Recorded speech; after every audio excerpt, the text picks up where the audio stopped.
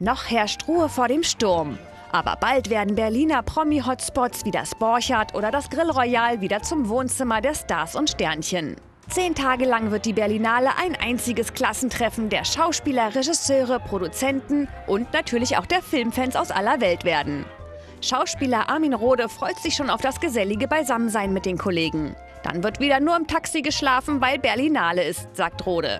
Die Filmfestspiele seien der Karneval der Schauspieler, da ist richtig was los in der Stadt, findet der 58-Jährige.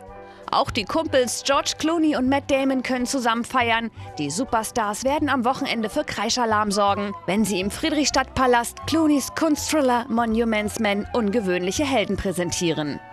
Vielleicht kann man die beiden danach noch bei einem Steak treffen, denn das ist das Schöne an der Berlinale im Vergleich zu anderen Festivals. Die Fans dürfen fast überall mitfeiern, sofern sie eine der begehrten Karten ergattert haben.